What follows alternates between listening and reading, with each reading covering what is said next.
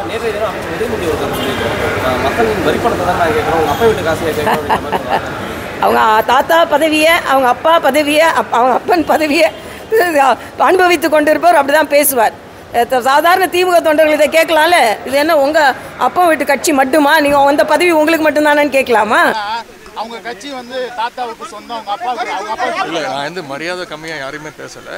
நான் வந்து இப்போ திருப்பி வேணால் வேறு வார்த்தையில் சொல்லவா? மா- மாண்புமிகு ஆளுநருடைய அப்பாவுடைய சொத்து கே கேட்கல மாண்புமிகு மத்திய ஒன்றிய அமைச்சருடைய அவங்க அப்பாவுடைய சொ- சொத்தை யாரும் கேட்கல தமிழ்நாட்டு மக்கள் கட்டக்கூடிய வரி பணத்தில் தான் பாதிப்பு ஏற்பட்டிருக்கு. அதுக்காக தான் கேட்டிருக்கோம்.